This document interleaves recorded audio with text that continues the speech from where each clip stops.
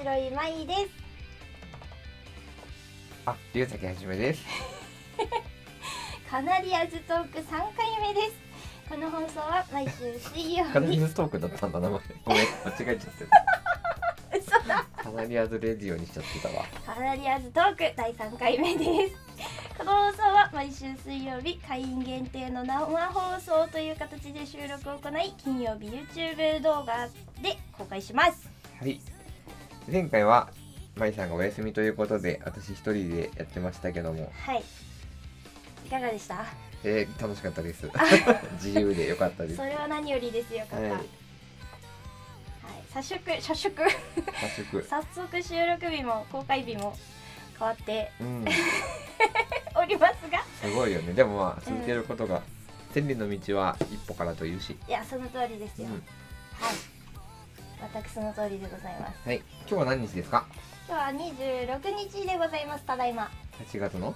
はい1月の8月26の日でございます。ということですね。はい。でございますよ。大丈夫ですか？それで？それで？それでな、それがどうした？これは龍崎さんペースですね。って言わ てる。ダメだ持ってかれますね。うん。はい。えー、早速今週何か変わったことありましたでしょうか？ああなた先週なんでお休みだったの？10, 10時半までギリギリまで作業してましたけどなんでお休みだったのかしら？そんな元気があるなら放送できるんじゃないって言ったけど違う違う。その作業してたのあなたのこの画面を作るのに一生懸命だったんですよ、私。そこだから画面作る元気あるならちょっと喋るぐらいねいやもう喋れねえと思ってあのか。胃がキリキリしててですね。ほんと。お腹ぐるぐるだったからちょっとお腹の音が入りそうだったんで。なるほどね。お休みしてもいいですかと。いうことでございましたうです。い。今週1週間どうでしたか、1週間どうでしたか？うん、どうでした？寒かったです、いやほんと寒かったうねん。寒さえぐいよ。なんで寒いのこんなに。なんで寒いんだ？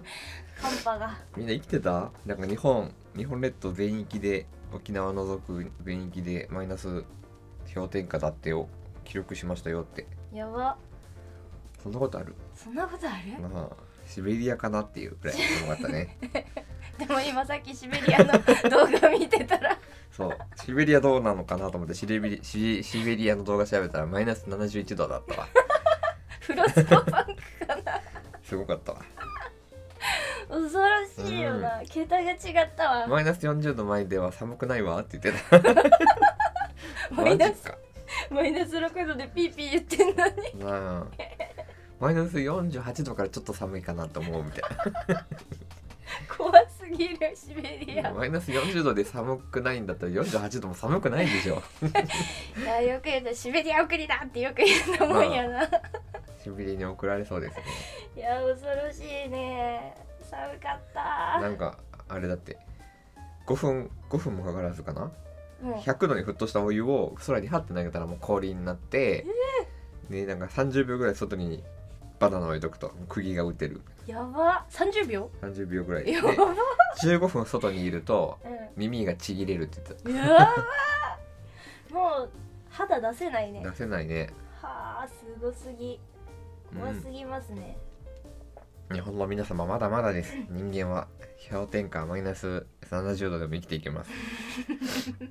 ああ大丈夫大丈夫。いろんなものを犠牲にしそうだけど、うん、なんか地面を掘り返すとたまにねあの大昔に死んだ人が綺麗な状態で出てくるんだって。ええ怖糖度やね。と永久凍点マンモスもなんか溶けた時に出てきたとか言ってたよ。へえすごすぎ。すごすぎやね。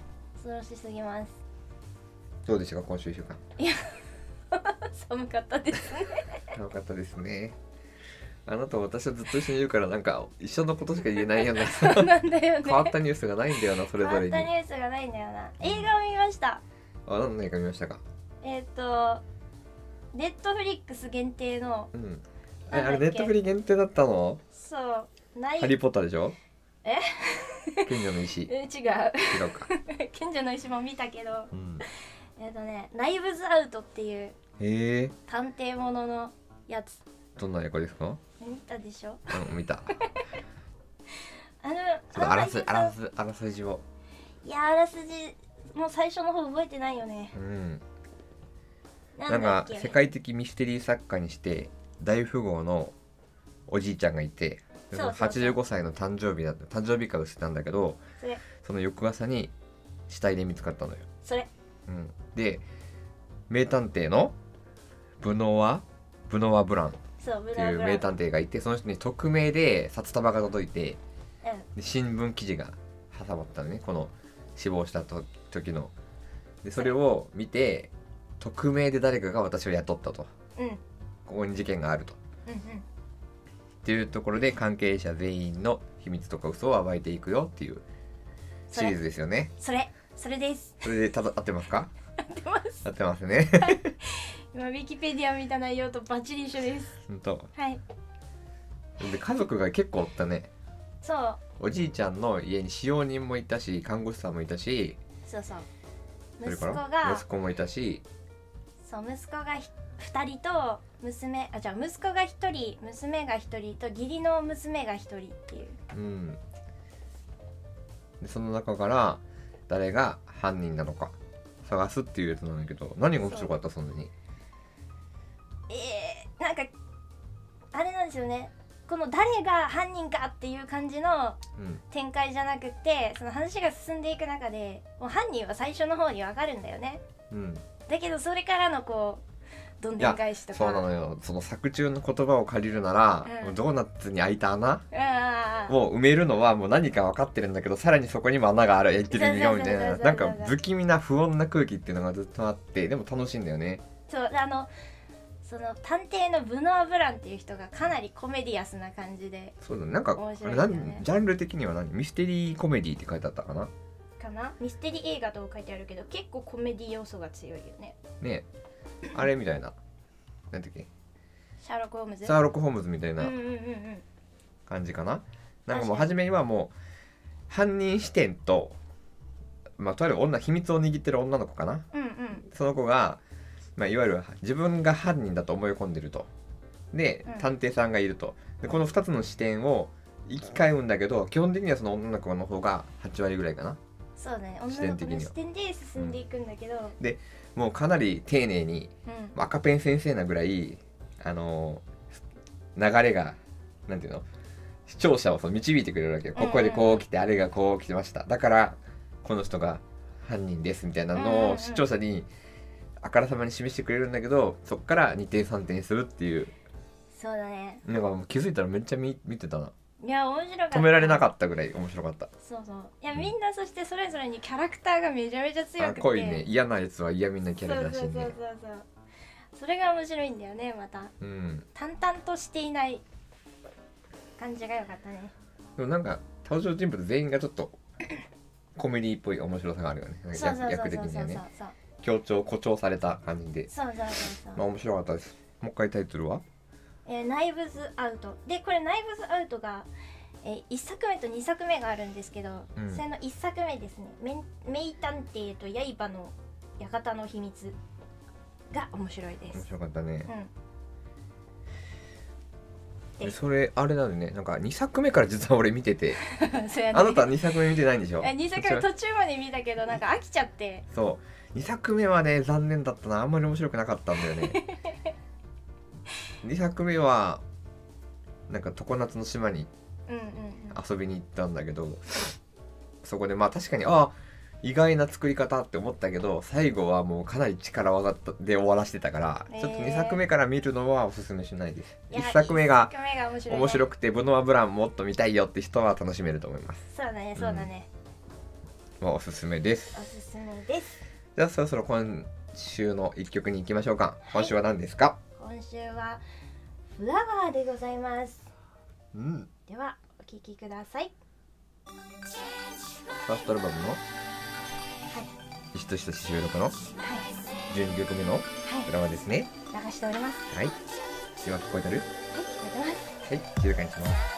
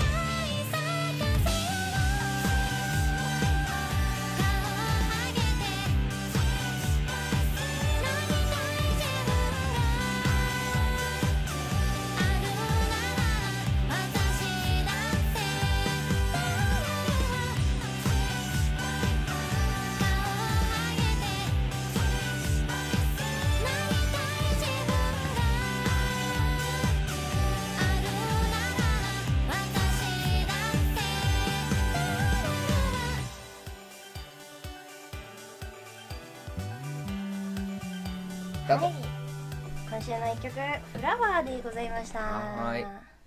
今週はあれですねコーラス募集待期間ですね。あそうですねそうですそうです。コーラスコーラ コーラス募集が月曜日までですか？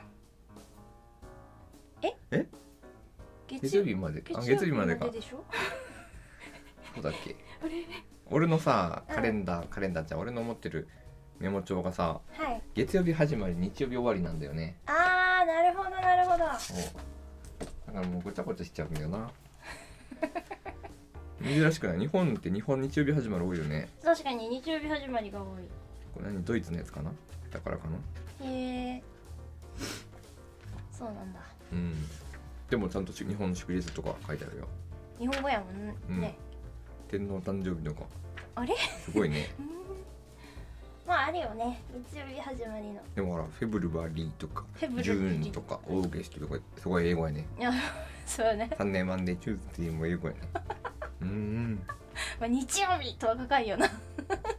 カレンダーに、でもね成人の日も下にねう「Coming of Age Day」って書いてある。ん、へえ。うん。あと元旦元日はね「ニューイヤー」って書いてある。そのまんまや。建建国記念日は英語で何て言うと思う？なんだろう。国でしょ？うん建国記念日。国ってなんだっけ英語で？カントリカントリーえー、建てるわ。ービルズあビルドカントリービルドデイはいじゃあ正解は皆さんの心の中にしまっておいたとして今週のテーマは？えー、人生を変えた一曲はありますか？とはいいうことですが、レオンさんありがとうございありまがとうございます。すで今週のテーマは？編集点編集点。今週のテーマは？人生を変えた一曲はありますか？ということでレオさんありがとうございレオンさんありがとうごますざいます。で今週のテーマが何でしたっけ？テイク3はないよ。テイク3はないよ。はいじゃあ今週のテーマに行ってみましょはいありますでしょうか？う今週のテーマは？はい。あ人生を変えた一曲はありますか？ありますか？ということでじゃあ今週のテーマ行ってみましょもうめんどくせえな。さあうマイさんんはなんだっけ？おそばつくんのオープニングテーマやね。知らんおそ松くん見てないよ。えじゃないんだよ。えなんかありますか？ないんだよ。俺の人生はねそう簡単には変えられないからね。なんかかっこいいこと言ってるけど。でもなんかあの昨日と今日と「うん。ハリー・ポッター」をもう一回見直してるんですよ。うんうんうん。ハリー・ポッター賢者の石。ハリー・ポッター賢者の石か一作目が。うん。を読んでてはい。でいな何歳の頃か忘れちゃったな。でも中学生ぐらいだった気がするな。なんか読んで「秘密の部屋」とかを読んでた時に本で最初に有名になったよあれ。映画じゃなくて。うんわかるわかるわかるよ。それ読んでてアズカバンの囚人にか差し掛かる時にうん。賢者の石の映画化が決まったんだっけな。えー、そうなんだ。いや覚えてない。なんかでもちょっと進んだってからなんか映画なんだと思ってう見に行った記憶がある。んへえで見に行ったんだけどあんまりに早すぎて。だから小説で読んでるやんで小説なんて1日で読めんから1ヶ月ぐらいかけて読めんと。うんうんうん。その分濃密やんね。はいはいはいはい。1日ごとになんかもう書いてるみたいな感じ。あのスストーリーが。うんうんうんうんうんうん。怒涛のペースでさ進んでいくやん。はいはいはいはいはい。それに驚いちゃって。うえもう終わりなの？みたいな。んなるほどね。そう。あれでも長いね。2時間があるもんねあの映画。そうそうそうそうそう。い二時間半ぐらいかな。ね。うん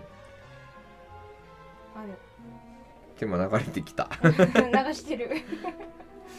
でパンフレット買うわけよ。うん。俺見た映画はつまんなくてもパンフレットは買って帰るから。うんうんうんわかる。だからその時にサウンドトラック一緒に買ったわけよ。え売ってるんだ映画館で。うん映画ねでも出た。あいやいやいやあとその映画館ではあのグリフィンドールのマフラーも売ってた。えだ。でも買えないんだよね当時のお小遣いいやじゃ、わかる。高いよねああいうのはね。うん、あとなんかあのグリフィンドールかなんかのバッジみたいなのとああいいね。杖とかホグワーーツの。杖は売ってなかったかもな。あそうか。でもなんかガチャガチャに水晶のガチャガチャがあった。へえ水晶のガチャガチ でもハリー・ポッターの全く関係のない水晶のガチャガチャがあって。ャ なんや。あこれ絶対パチモンだみたいな。組み分け帽子欲しいよクリフィンでだからサウンドトラックを買ったのよ。ドーあ2枚組のやつ。へいへい。でもあれと悩ん。でマフラーとうん。悩んだけど俺はサウンドトラックを買った。おうでお母さんにマフラーを編んでって言ったの。グリフィンドールからのマフラなんでーを編んでって言ってくれ。なるほどね。長いやつね長いやつねって。日本のやつ短いから長いやつよって言って。編んでもら確かに海外のマフラーなんであんな長いんやろう長いね。なんかあれあれじゃん。旗みたいなのとかあるんじゃないの？自分のああなるほど。カラー量のカラーでしょ。量っていうその制度自体がさうんうんうん海外向けやんめっちゃ、うんうんうんうん。確かに確かに。日本の量もなんとか層とかじゃないの？民宿みたいな。はいはいはい。あーでもあっちのちっちゃいよあっねちはさ量でさもう分かれてるじゃん名前が。何々いいよ何々よ何々よそれが一つのチームみたいになってるでしょ。ああ確かに確かに。で量対抗のなんとかでとか。うんうんあるやんね。ある。うん。曲めっちゃ盛り上がってんだよね今。でも話に話を曲が夢中みたいな感じで、いやでも「ハリー・ポッター」の曲めっちゃいいよねやっぱ、うん。だからそれをう初めて買って人生で初めて買ったサウンドトラックやねんな、ん、うんうんうん。多分記憶が正しければ。うん。そういう意味ではそこで劇版に何らかしらの影響を与えたかもしれないね、ああなるほどね。うん、劇版っていうもの存在がある。サウンドトラックなんて。普通曲って聞いたらやっぱ歌物やみんな。えそうやねそうやね。わかるわかる。で俺もその劇版出身やからうん。劇版っていう意味ではそこに影響を受けたかもしれないな。はあなるほどね。いいよね。サウンドトラック欲しくなるやつあるよね。あれね。今ではもう YouTube でさ公開中ですとか。うんうん、そんな感じじやん。ああそういう意味ではあのあれ砂の惑星？デューン。ザ・デューンの。あああれはいつだったっけ？一昨年公開の映画かな？砂の惑星のデューンっていう映画がもうリメイクで一昨年に公開になったやつ。あれのサウンドトラックもめちゃくちゃすごいので皆さん聞いてみてください、えー、それ聞いてないから聞こう。ん、う、いいっすな。砂の惑星だけにな。いいっすな。今気づいたも うあれも今年かな？今年に続編が出るんだよね。えー、そうなんだ。あれネットフリかなんかで見てめっちゃ面白かったから。え今年見に行かないと公開したら。ー、えー、その前にじゃあ一作目見とこう。ん見とって。楽しみ。難しいよだいぶでも。あそうなんだ。無言でだいぶなんか言葉の声心の声もないし。こなんか顔で語るとか風景で語るとか。へえ仕草で語るとかそんな感じやけどもうへ衣装とあと宇宙の話やから船があるんやけどシップえうんはロボ。うん。メカニック。関係のデザインがめちゃくちゃ秀逸。デザインがもうめちゃくちゃ綺麗です。芸術の域に達してる。見てみましょう。はい。見てみてください、はい。じゃああと3分でまとめて。あと3分でまとめて何をまとめたらいい？トークテーマです。あトークテーマですか？はい。やハリーポッターいいですね。いいですね。はい。ということで今週はここまで。はい。ありがとうございます。嘘嘘あなたのターンが残ってるでしょ？ちょっと待ってください。あ時間だけ見てもいいですか？あ時間だけね。大丈夫です。残ってます時間。ありがとうございます、計算通り。私もご用意しましたので、タイムキーパーがおるからえー、私リトルリトルはじめがここにあリタイムキーパーのじめがちゃんと心の声を聞いた、語りかけてうん、ありがとうねハリー・ポッター見たことないの？いやハリーポッター見たことない、えー、人生の99.9%損してるよ。それは言い過ぎやな。主観です。いやハリー・ポッターねでも言うて途中までしか見てないんだよな。戸締まり途中までしか見てなああ何まで見たの？いえハリー・ポッターが朝起きるとかやろ。ー、あの靴下あげるやつ。靴下あげるやつ？トビートビーに靴下あげるああ散策？俺靴下だ。散策だから。なんだって。アズカマンのそれはねボビー。うん夏。ボビー夏。うん。アズカマンの十字までしか見たことないな。はい。では私のはい人生を変えた一曲。それこそめちゃめちゃ悩んでマイさんはめちゃめちゃ人生を変えられてるから逆に。ペラッペラやなペラペラ。ペラッペラやね。自分というものがもしかしたらないのかもしれない。コロコロ変わるから。影響されやすい人。そうそうそうそう。うんそれこそ 18s の洋楽から始まりうん。宇多田ヒカルに心を惹かれ アブリル・ラビーンにロックを教えてもらいで結局なんだろうなってめちゃめちゃ考えた時にうん。この同人音楽という世界に入ったきっかけの曲うん。っていうのがあってそれも同人音楽なんですけど千の風になってじゃないやろな。千のか 違う。違う。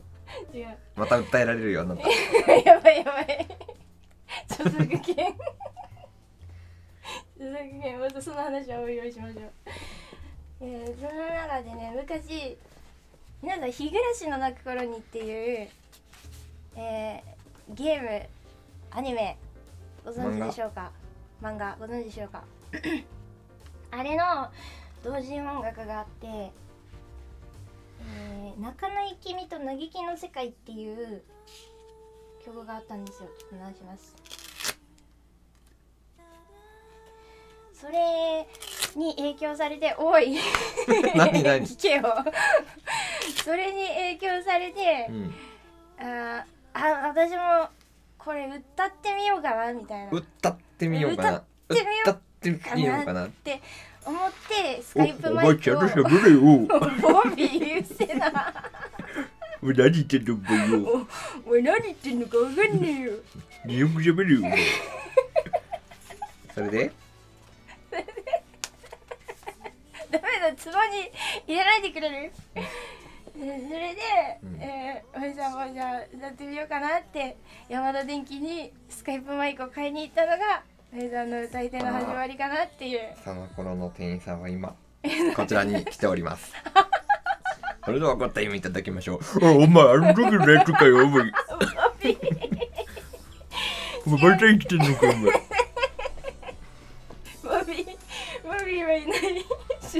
導権強すぎる。確かに。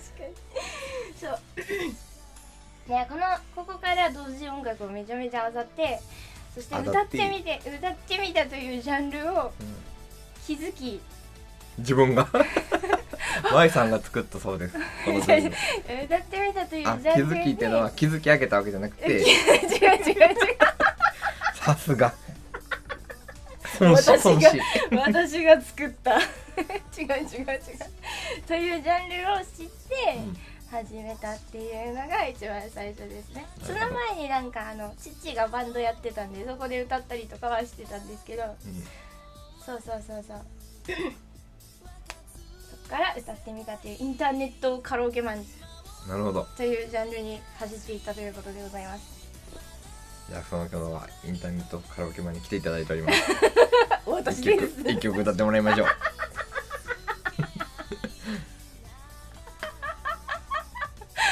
ダメだわはいということでございました。うん。記憶に残ったかな今日の。みんな何の話なんだっけ？もうわからんなったよそんな感じでこんな感じだった一かな。番最初から皆さんわかりました。またこれはあの放送で見返してください。結局何だったんだろうって、何の話してたっけ？ということでございました。はい。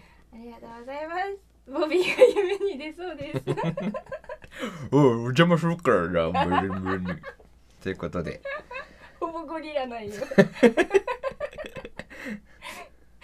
はい。ということで今週の、えーカナリアズトークはここまでとなります。ありがとうございましありがとうございたました。また来週。水曜日にお会いいたしましょう。来週は水曜日でいいんだね。はい水曜日でございます。はい。はい。それでは皆さん来週までごきげんよあそんな挨拶なの？そんな挨拶なの？う 知らん。ノリや